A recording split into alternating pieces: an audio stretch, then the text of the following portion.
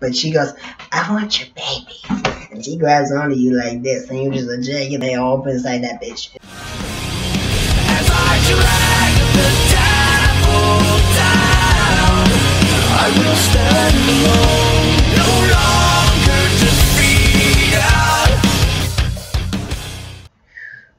Young Money.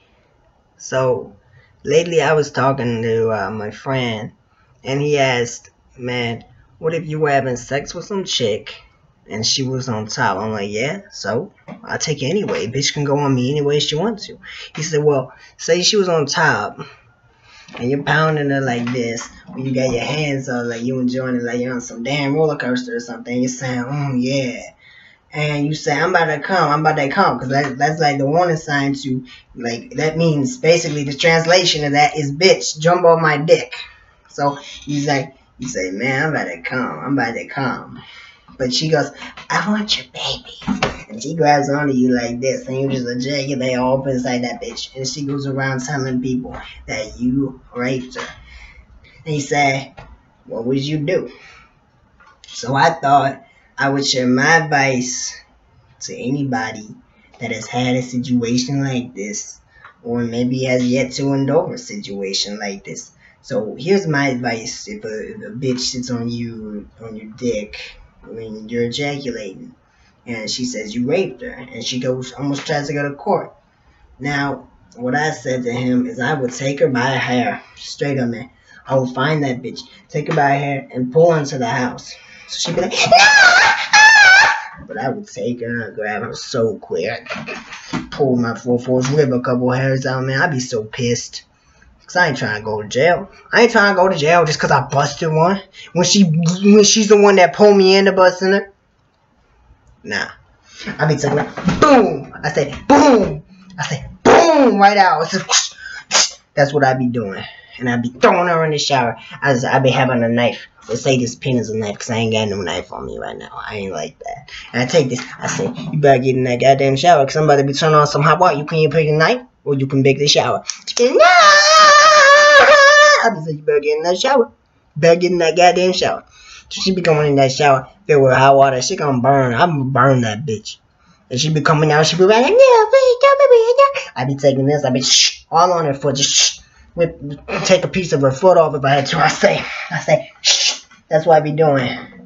No, ain't nobody gonna be saying I'm raping shit. Saying, shh. She ain't moving nowhere. She go, ah! Be. She ain't gonna do nothing. She gonna be go, ah, She be crying out of the shower. I be taking my foot. Say this in my, say this in my foot.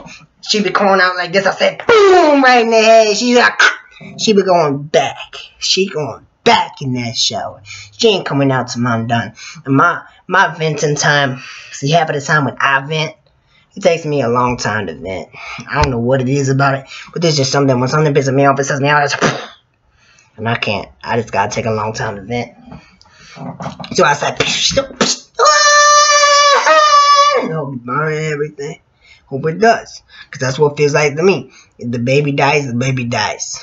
I ain't want that baby anyway. She be sitting on top of me and ejaculating. She be making me ejaculate up in that bitch. I ain't trying to do that.